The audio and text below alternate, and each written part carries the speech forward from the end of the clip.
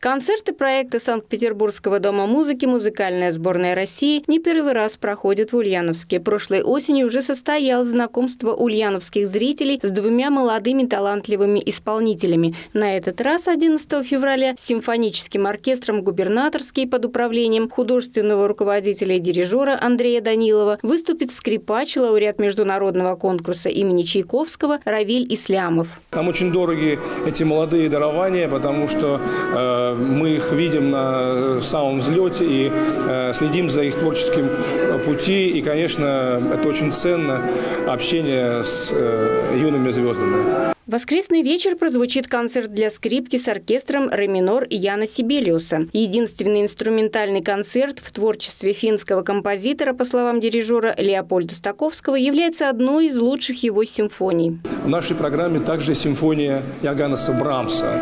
Ну, про Брамса можно говорить долго. Это классик среди романтиков его называли.